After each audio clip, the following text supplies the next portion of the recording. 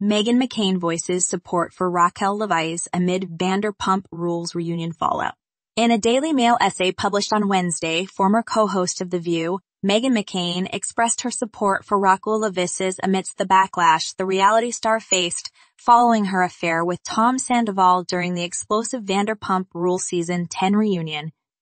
McCain described the scandal as TV gold and acknowledged the intense hate Leviss received. However, as the scandal unfolded in the media over several months, McCain began to feel more compassion for Leviss than for Sandoval's ex-girlfriend, whom he cheated on. While acknowledging the terrible behavior displayed by Sandoval and Leviss's, McCain noted that Leviss took responsibility for her actions and apologized profusely.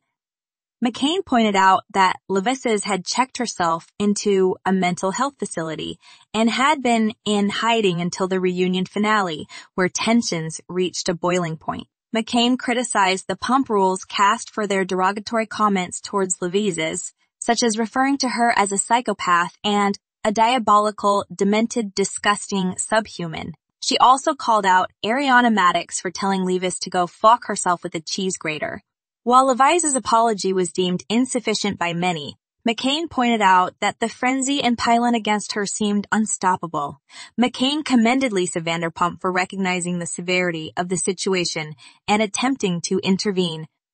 McCain also criticized Andy Cohen for suggesting that Leviss was heavily medicated during the reunion. She highlighted how Madix and Lala Kent seemed to admit they had gone too far since the show wrapped, emphasizing the need for resolution in this storyline. According to McCain, Bravo should be grateful to Leviss for bringing Vanderpump Rules into the cultural forefront. She emphasized the importance of sensitivity moving forward, stating that this debacle deserves a measured approach. McCain expressed her desire to see how Leviss's story unfolds, noting the cultural significance it has brought to the show and the network.